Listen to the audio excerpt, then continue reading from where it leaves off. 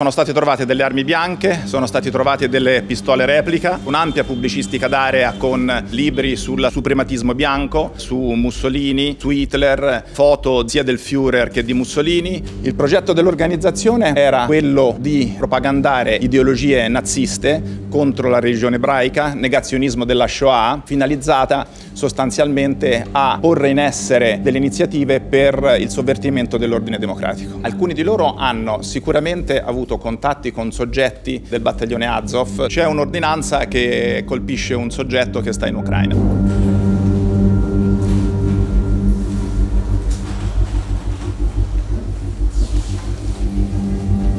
Tratta della mm, parte conclusiva di un'indagine iniziata nel dicembre del 2009 nei confronti di un'associazione con finalità di terrorismo, di razzismo contro la razza e la religione ebraica, che ha visto l'esecuzione di cinque ordinanze, quattro in carcere e una obbligo di presentazione alla polizia giudiziaria, quest'ultima a Roma, tutte le altre in Campania tra Avellino, Napoli e Caserta. Le persone indagate sono delle persone che conducevano una vita assolutamente normale, hanno fondato questa associazione spirituale religiosa denominata Ordine di Agal, per entrare nella quale era necessario fare un giuramento, un rito iniziatico. Si trattava di un'organizzazione organizzata in maniera verticistica. Più alto era il livello gerarchico, più eri messo a conoscenza di quello che era il progetto dell'organizzazione. Propagandare essenzialmente ideologie naziste contro la religione ebraica, negazionismo della Shoah, finalizzata sostanzialmente a eh, porre in essere diciamo, delle iniziative per il sovvertimento dell'ordine democratico. Però si tratta soltanto della volontà dichiarata, perché non è mai stata seguita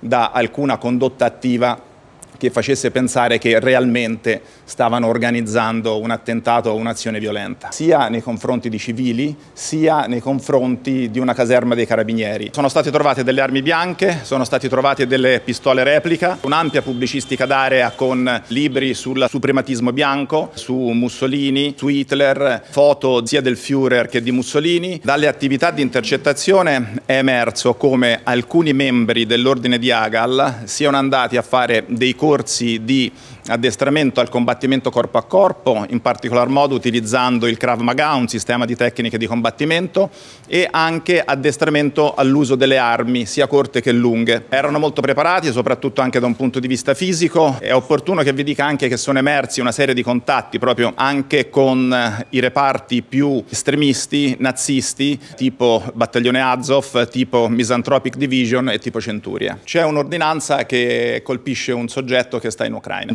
giornata abbiamo ancora in corso quasi una trentina di perquisizioni in tutta Italia e sicuramente dalle perquisizioni informatiche potrebbe uscire qualcosa di nuovo e di più interessante.